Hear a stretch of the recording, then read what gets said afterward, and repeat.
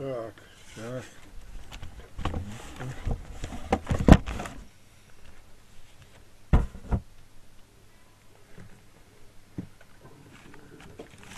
Сейчас, сейчас, посмотрим, что у нас тут. Так неожиданно, не предупредили сразу тут.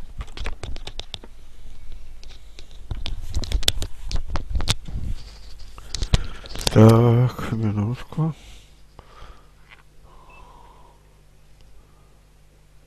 Вот так. Вам видно? Да, все видно. А вам? Да, хорошо видно. Ну, у нас все записывается и выставляется. Вы не против интернет? Нет, конечно. Я слушаю вас. Назови, назовитесь, кто вы и как. Я Анатолий Фомин. Понятно. Живу в Артемовске, Донецкая область, Украина. Хорошо. Я в Барнауле нахожусь. Так, э, хотел бы э, в, общих чертах хотел бы попросить у вас э, ответов на вопросы во свете Библии и житейский опыт, чтобы вы мне передали в некоторых простых вопросах. В общем, первый вопрос такой, в общем, суть. Как объяснить людям э, святость отцов? То есть, э, говорят, святые отцы. А люди не понимают, говорят, да нет святых людей. А мне пока что не приходилось объяснять, но хотелось бы услышать вас, ваш ответ. Как нет, святые? Говорит, будьте святы, как я. Свят Господь говорит ко всем. Апостол Павел пишет послание, говорит, святым избранным. Всех, которые приняли святое крещение, люди, живущие по Западе, все святые. А по человеческой немощи-то мы согрешаем, потому что Бог усматривает нечто не- и в ангелах. Поэтому вопрос один, а ответ можно и не давать никакого. Святые, это по должности мы омыты кровью Христа. Встань спящие, воскресни из мертвых и осветит тебя Христос. Он делает святым Господь. Поэтому святые отцы, это доказано было их жизнью, как они жили, какие труды, это общепринятое мнение. А они не считают их, ну, для православного вопрос так не стоит. Он скажет, а мне нужны доказательства. Доказательств никаких нету. Люди ушли. Остались труды. Осталась их биография, называется «Житие святых». Никого нигде нет святых. Ну, не верит, значит, не верит. Неверующий Богу представляет его лживым. Он говорит, я свят, и будьте святы. А это призыв к тому, что были святые, они, значит, и есть.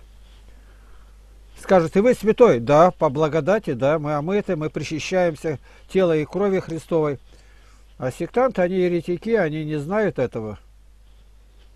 Поэтому и отвечать нечего больше. Не верят они, значит, Бога представляют лживым. Есть такое выражение, Бог, Господь, принял образ человека, сошел на землю, чтобы человека сделать Богом, то есть божественной сути приобщиться. Вот что и случилось. Доказательств никаких нету. Мы должны указать места Писания. Он верит человек или не верит. А вы зарядите в поисковик и посмотрите, Павел, когда обращается, все время обращается, называет святыми. Вот и весь сказ. Хорошо. А, еще такой вопрос. А, как узнать, крещен или не крещен человек без свидетелей? То есть есть люди, которым, а, уже, которые уже в годах, которые не знают, крещены они были правильно или неправильно.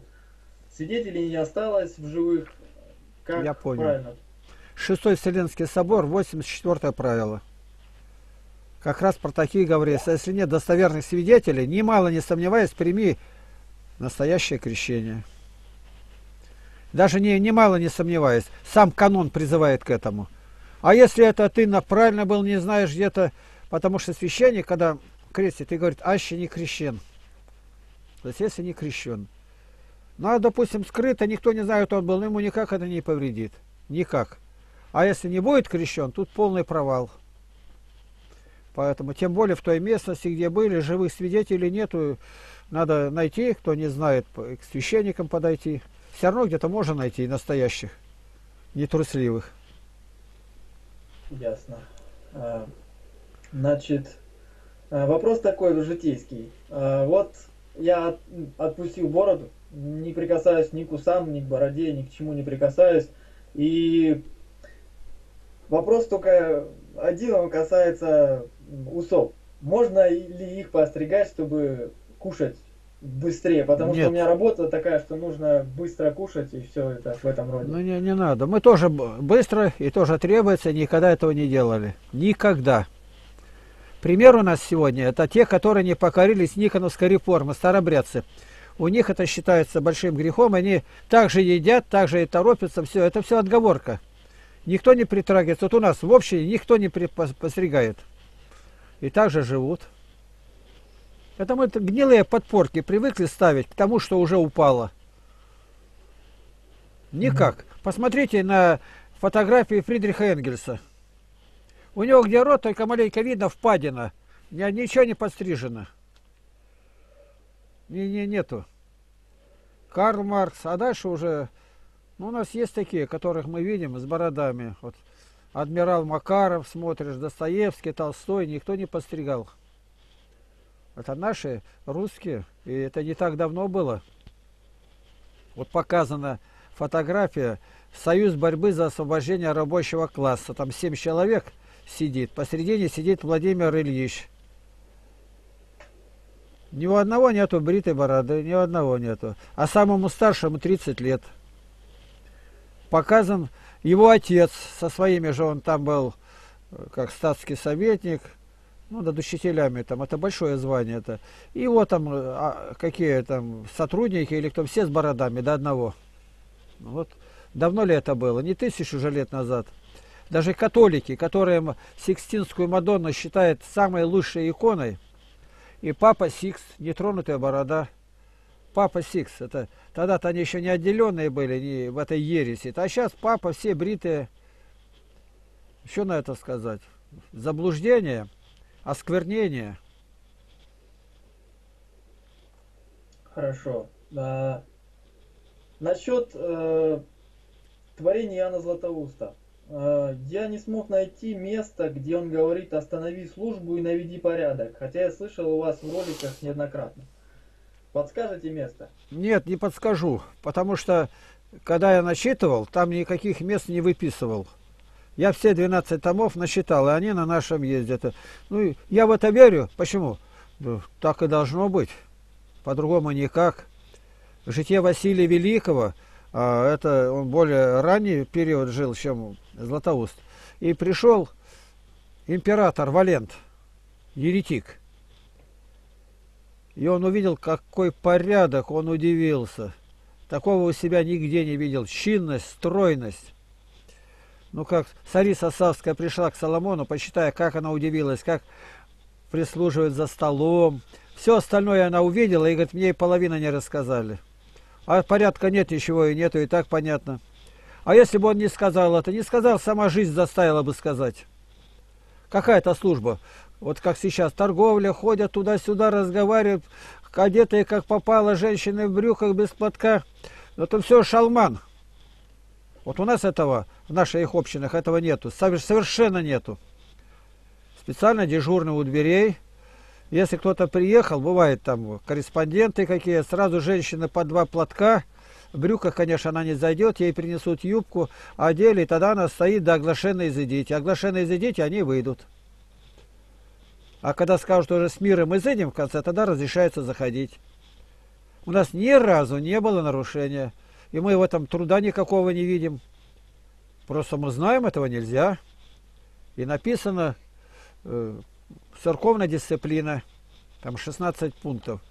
Все это сказано. Не опаздывать на богослужение, раньше не уходить, к кресту подходить, там мужчины всегда первые, к причастию мужчины первые. То есть все упорядочено. Один раз надо было поставить это дело, а дальше оно само по себе идет. Бывает, кто-то говорит, а, звонят мне, вот, а может такой-то вот у меня на работе и давно прийти. Ну, вы порядок знаете? Да, знаем. Человек под поясом, мужчина. Ну, у него борода только щетина. Ну, пусть придет. Если да, разрешаем. Женщина тут, понятно.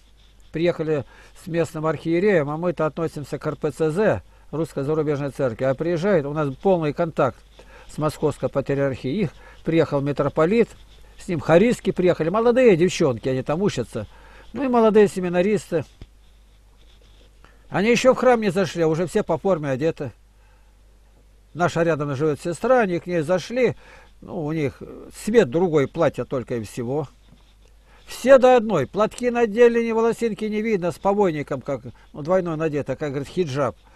И архиерей тут же митрополит, и эти, которые у него там семинаристы. Ни одного нет распоясанного.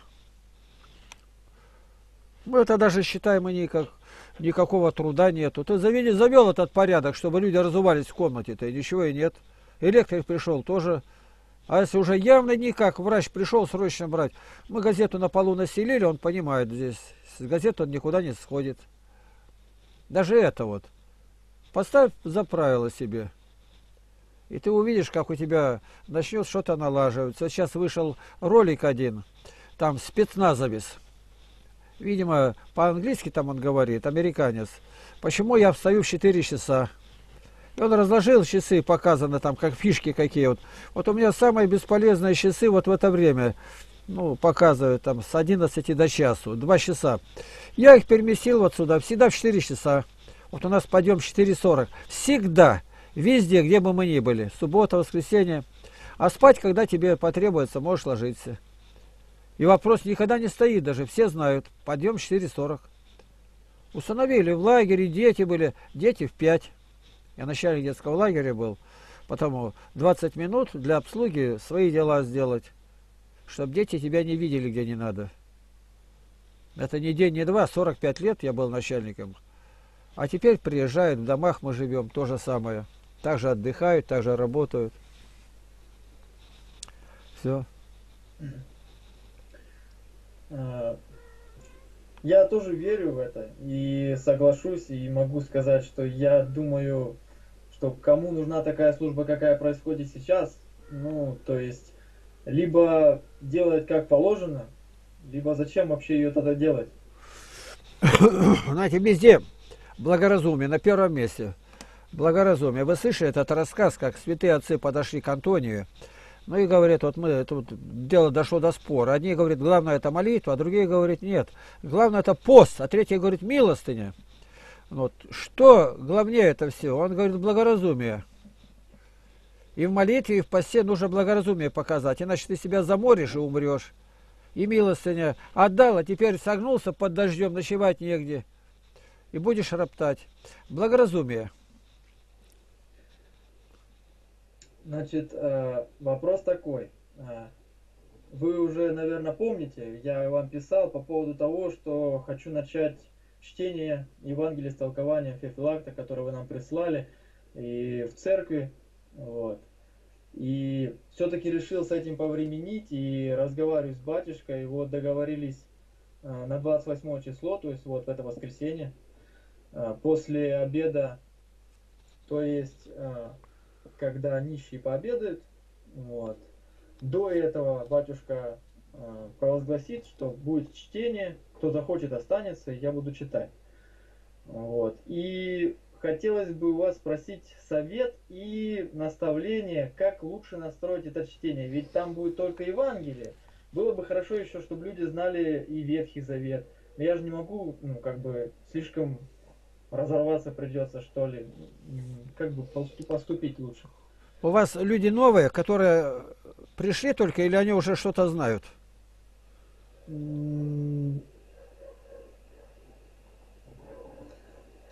как бы сказать, знать вряд ли они что-то знают, просто из прихода люди, любые, которые останутся, которые вас желают услышать Евангелие с толкованием, я их еще не знаю, вот. Это будет первое чтение. Я бы вот что посоветовал бы. С батюшкой поговорите. Ну, если он не будет э, согласен, значит, придется в другом месте вести где-то, и людей собирать, и, и батюшка пригласит. Он не пошел, значит, не благословляет, и не надо. Не надо. На это благословение какое? Господь благословил. Идите по всему миру и проповедуйте Евангелие. У нас есть материал, называется «Пособие по изучению Евангелия от Марка». Пособие по изучению Евангелия от Марка. Вот вам нужно его иметь. Это в третьем томе открытым оком. Вы можете это найти в интернете, э, на нашем видеоканале, просто так и зарядить пособие по изучению Евангелия от Марка. И там оно есть. Постранично листается. Но вам нужно э, в вордовском варианте, что перед вами была как отпечатанная. Вот. Но это можно сделать. Перекопировать и вот, э, запомните, третий том открытым оком. Книги, знаете, на нашем сайте. Сайт, не форум, а сайт. Называется православный библейский сайт во свете Библии. И там с левой стороны вот так сразу только откроешь и пока, ну, открыл, когда по-русски заряди, и сайт этот выйдет сразу он. Там иконы видно. И слева книги, написано книги мои. И вот так откните в книге-то, она сразу откроет другую страницу, и там все эти книги. Открытым оком. Ну, а дальше как скачивать, там все сказано. Скачайте и э, разверните, и потом постранично вы можете его скопировать себе. Я был на Украине, и там вот это они копируют и переплетают прям настоящие книги. Ну, больше они размером, потому что А4 лист, он больший. Вот с него начинать. А где там написано непонятно, подсобие, что был Новый Завет. Евангелие от Марка заранее приготовить одновременно и сюда заходить. Оно поясняет, в Ветхом Завете указано место. Тоже заранее подготовься, закладочки сделай. Обязательно считать указанные места. Обязательно. Знает, не знает, считать. Остальные, чтобы записывали. Обязательно добейтесь, как в школе. Там написано, кто может участвовать, сколько человек, там все описано. Материал очень богатый и легкий.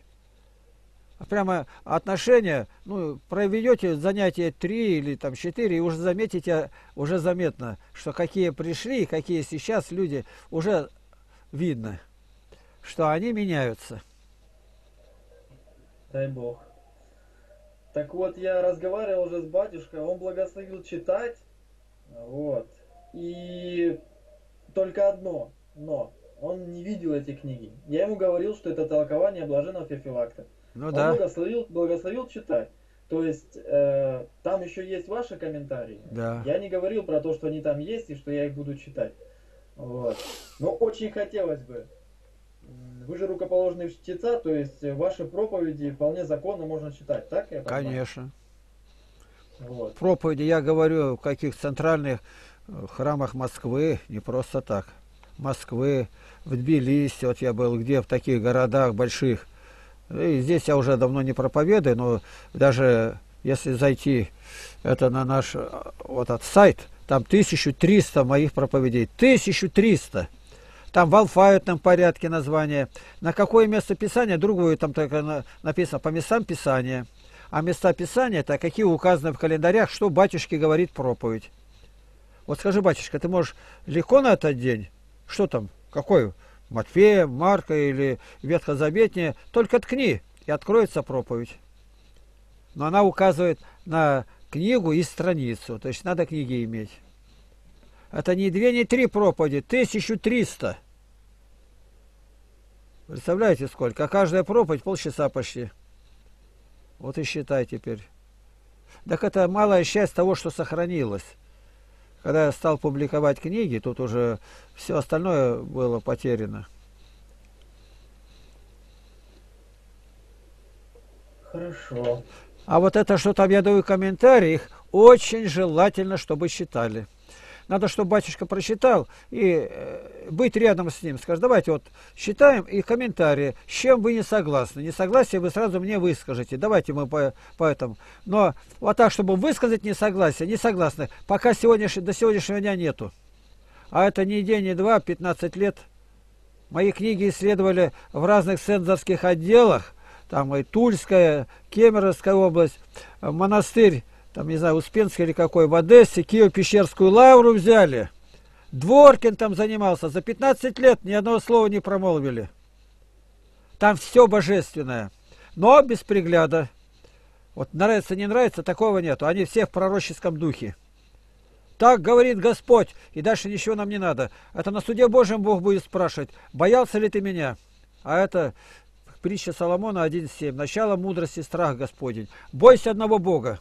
Кто Бога боится, тот ничего не боится. Вот Андрей Кураев, когда обо мне говорил, он это подчеркнул. Игнатий говорит, разницы нет. Соборы, не соборы. Библия главная, перед ней все ответственны. А я, говорит, смотрю, еще епископ скажет, поэтому я не свободен. А теперь он свободен, его везде потревожили. Благослови Господи. Я не теоретик, я практик. Вот это, что у нас есть, мы все притворили в жизнь. А на практике, значит, и приходится соответствовать. Вы знаете качества лидера какие? Слышали? Да, слышал от вас. Вот, шесть. Так это я взял-то готовое. Это в Америке во время Великой Отечественной, вот этой Второй мировой войны выявили. Почему вместо убитого майора выскочил сержант, повел, а не капитан. И вот шесть этих качеств. Так, подумайте, посмотрите, есть они у вас или нет. Если нет, значит, вымолить у Бога надо. Потому что раз вы считаете, вы лидер, ведущий. А там ведомые, как у летчиков. Вопрос еще есть такой. Ну, он скорее косвенно э, относится к этому всему делу. Но, э, в общем, вопрос. Можно ли сказать, что святые отцы э, одним, можно сказать, голосом говорят, что у Библии абсолютный авторитет? Абсолютно. Все. Все до единого. А если он не будет так говорить, анафема ему, сразу отвернись. Ответ. Галатам записывайте. Первая глава, 8-9 стих. Святые отцы... Да, Галатам. Галатам, первая глава, двоеточие 1, 8-9. 8-9 стих. Если ангел с неба, или мы будем говорить не то, да будет анафема. Анафема ему. Поэтому Златоуст говорит, в Священном Писании, в Библии, не пропускай и единого слова. Все несет в себя огромную информацию. Это Бог сказал. Поэтому называется, у нее три названия у Библии. Библия святая, Слово Божие и Священное Писание. Словом Божьим ничто не называется, кроме Библии. Почему? Все Писание Бога духовенно и полезно для учения, обличения. Писали святые Божьи человеки, будучи движимы Духом Святым, пишет Петр. Все Писание Богодухновенно. А Господь говорит, Евангелие от Иоанна 5.39, исследуйте Писание, ибо вы через них думаете иметь жизнь вечную, а они свидетельствуют о мне, то есть о Христе. Евангелие от Иоанна 5.39, заучите этот стих. И 1 Тимофею 4.16. Вникай в себя и в учение. В себя. Исполняешь, нет, и в учение. 1 Тимофею 4.16. Так поступая, занимайся этим постоянно, и так поступая, и себя спасешь, и слушающих тебя. А если не будешь поступать так, ты ни себя не спасешь, ни слушающих. Вы сразу же берите ту планку, которую Господь установил. Ни шагу. Не добавляй, не убавляй. Об этом второзаконии говорится. Притча Соломона. Притча Соломона. Об этом мы считаем. 30 глава, 5-6 стих не прибавляй к словам его, чтобы он не обличил тебя, и ты не оказался лжецом. Сейчас начнут говорить всех покойников, отпевать надо, то другое. Нету в Библии ни слова про это. И у нас в отпевальных канонах говорится «раба твоего», а это был богохульник. Он минуты не каялся, его там застрелили, матерщинник или блудница была. Это суд Божий, не нам. Никогда в это не вмешивайтесь. А вот умирает верующий, тут мы молимся, уже поминаем, и каноны есть, и все как положено. Там прямо говорится, Господи, помяни раба твоего усопшего, раба. А какой раб? Раб греха. Никого не бойтесь, если боитесь, даже не высовывайтесь. Так говорит Господь. Вот у меня главный пророк, кого я больше всего считаю близким мне, это Иеремия и Михей. Все согласились, идти на Рамов Галацкий-то. Но хоть кто-то есть еще. Да есть один, я его не люблю, он обо мне хорошо не говорит. Здорово вообще-то. Он говорит, позовите его. А посыльный говорит, знаешь, все-все одинаково пророчествуют. И ты скажи, ну что, победа будет в этой в Отечественной войне. Он говорит, нет, в рот ко мне залазить не надо. Я скажу то, что мой Бог Егова скажет. И он начал тогда говорить. Это просто надо читать Писание. Значит, э, дальше, если по вопросам. А, я э, сейчас ищу жену. Ну как ищу? Уже, уже долго ищу, можно сказать. А, желаю жениться, чтобы приобрести что-то еще кроме. То есть, чтобы что-то приобрести, приобрести жену. Вот. И я думаю, где лучше поискать. Э, в храме, ну, в общем, подскажете что-нибудь? Я подскажу то, что Павел говорит. Он говорит, остался без, без жены, не ищи жены. То не согрешишь, говорит, но вы будете иметь скорби по плоти, а мне вас жаль. Найти, чтобы она была послушна, как мусульманка, воспитанная в страхе Божьем. Конечно, не на танцплощадке, как Андрей Кураев говорит, иди там познакомься, от миссионер ее, да не могу, и женись. Это не пойдет. Она с детства должна быть. Это она переоденется, все как есть. А дальше она начнет делать такое, ты не знаешь, куда сбежать.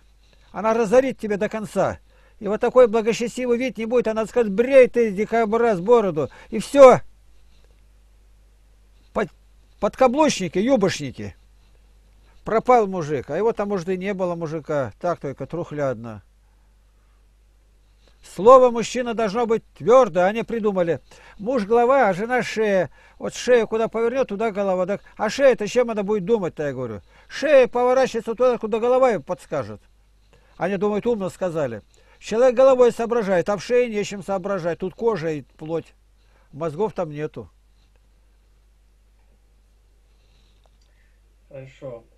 Я желаю вообще в будущем ну, я так думаю, может быть, в будущем году э, желал бы, даже так выражусь, приехать в Потеряевку. Вот. Хотелось бы набраться опыта, вот, э, понапитывать Слово Божие еще больше в этой обстановке, э, кругом верующие, это, ну, как, как очень приятно. Когда рядом и, как, как это говорится, братья по вере. А вы видели, к нам приезжает с Украины Игнатов Сергей Егорович, юрист. От с Украины приезжает, и он живет здесь, и работает, помогает, ходит на занятия. И он был путешественник раньше, любил ну, там, а, ну ему уже почти 60 лет. И он приезжает сюда. И всегда... Вот я да хотел спросить э, по поводу того, можно ли там когда-то в будущем построиться или что-то в этом роде. Если бы вы были уже женаты и были у вас дети, можно. Какие-то а. братья, которые помогли бы, можно. Ну, правило, значит, деревня, деревенский совет решает там принять, не принять, вы должны показать себя. А то у нас были такие, видите, были, а потом начали поступать с самохотением, и пришлось им выехать. У нас строгая дисциплина. А ну, все направлено для того, чтобы было хорошо. Чтобы дети во Христе воспитывались. Чтобы жена была послушная. Чтобы ты не спал, а работал. Вот у нас староста деревни, он фермер, Игорь Барабаш. Приехал-то ничего нету. А сейчас он весь переулок там это, хоть и старой техникой. Но еще такой урожай, у него ни склад никуда не помещается. За бесценок почти все продает он. Гречка уродилась хорошая, пшеница, ячмень, горох. А там всего-то у него 300 что ли гектар. Гектар. Это если по пол гектара деревня под усадьбы дается, пол гектара, 50 соток. Ну, получается 600 человек он один обеспечил. Один. А начал ничего одна коровка, корова телилась, а на следующий год уже две у него, телка растет. У него нет ни ворованного, ничего нету. Как Некрасов говорит, знаешь, что с неба все Бог тебе дал.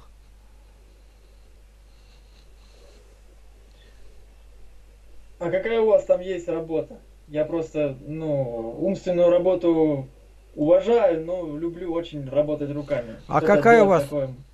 Умственная работа, от каким работаете? Не, я сам как раз не, от- не, не в этой профессии работаю, не в умственной, так сказать. Я обслуживаю людей, обслуживающий А, персонал. а сейчас где работаете? На заправке. Не понял. На заправке. На заправке. Ну, это там что? Нет, я не работал грузчиком раньше. Просто сейчас, можно сказать, перебиваюсь на этой работе. А образование Желаю какое? Образование какое? Образование... Сейчас вспомню. А, экономист. Экономист высшее образование. Экономист. Какой же Ну, ты... бесполезное такое образование. Абсолютно Ну, бесполезное. Вот вы знаете, самое главное, это три специальности. Самое главное. Сельское хозяйство, галантерея, то, чтобы одеться, и строительство. Вот в этом надо вписаться. Вот я закончил строительный техникум, мне хватило на всю жизнь. Меня везде заблокировали. Я тогда грязную работу, печи делаю, а это заработок хороший, уважение людей. Всегда при, все при тебе. Я просто поступал на охрану труда. Вот. И так получилось, что то группа не набралась, то стипендия. В общем, так и слетел к концу на экономиста. Вот. Это все баловство. Еще бывает заканчивать школу, это какой-то университет, историки, исторический факультет. Он бери книжку, да и считай, там что ты сделаешь. Другое дело, там иностранный язык надо учить, и у тебя перспектива, когда это дети куда-то поедут. Это бывает там физик, математика еще, а это-то история. История вообще чудовищно искаженный предмет. Это сказали. Историю пишут победители, да? Да, говорили, когда там в 90-м году, уже в 91-м году, на следующий год, и все экзамены по истории отменили по всей стране. Сказано было, история страны чудовищно искажена. А люди сдавали, пятерки получали. Вот. Нас всегда спрашивают, а вы как? Мы никогда этому не верили. Почему? Я верующий. Мы видели, что все это обман. Никакого на земле царства, коммунизма не построить. Люди разные, грешники. А Бога нет, все дозволено. Лишь бы оправдывалась эта польза для революции. Расстреляли одного или миллион, для них разницы нет. Ну да, я застал это, можно сказать, увидел это собственными глазами, что история переписывается буквально на глазах. Да. Я когда учился в классе, не помню, в шестом, что ли, а, у нас была вот эта вот помаранчевая революция, как ее называли, с Ющенко. Так вот, она появилась моментально в этот же год в учебниках истории. А когда пришел Янукович, буквально через год, ее как будто не было, стерли из учебников, ее вообще не существовало, этой революции. Вот. Так что это для меня навсегда было уроком, что в историю верить, ну, максимум в какие-то там очень, ну, я вообще стоит не верить, стоит верить разве что в Библию. Да. Библии там каждое слово выверено и неизменно не добавить, не убавить. Вот он праведник, Давыд, совершает тяжелый грех, и все описано. А правители при Сталине или Ленине напиши. Почему они скрывают, что там э, Тайнесса у нее, де- ребенок там в Швейцарии был у Ленина. Все это мало замалчивает. У Сталина что было, в Берии, все скрывает, все закрыто. Но мне это не надо знать, ну, просто сравниваем. А в Библии определенно Лот праведный. Вышел и пришлось спать с двумя дочерями, от обоих родились сыновья. И Библия все это сохранила. А вот это меня привлекло. Там нету шлифовки, лакировки. Никто не подчищает ее. Какой. Настоящая история, да? Да, настоящая, притом неизменная, потому что Господь говорит, я бодрствую над словом моим. Это его слово. Хороший был царь Езекия, написано. Плохой был Ахав, так и написано. Ну что ж, у меня вопросов больше нема. Может быть, Все, какой-то... слава Богу, слава Богу. Ну что на это, что? Вам никто не запрещает жениться-то, но просто бе- беда будет, если она будет не такая. Она разорит все у вас. И вы ничего не сделаете. Она думает, куда поехать, убежит, а мужик за ней тянется. Срам один. У мусульман никогда этого не было. Ему куда иголка, туда нитка. Нигде поговорки нет, куда нитка, туда иголка. Иголка это муж. Он пробивает дорогу. Математически как вот считают, что муж, допустим, единица, а жена нуль. Вот если она сзади будет идти, 10, а если впереди станет 0,1. Стоимость этой семьи. Все пока с Богом. Слава Иисусу Христу! Слава вояки!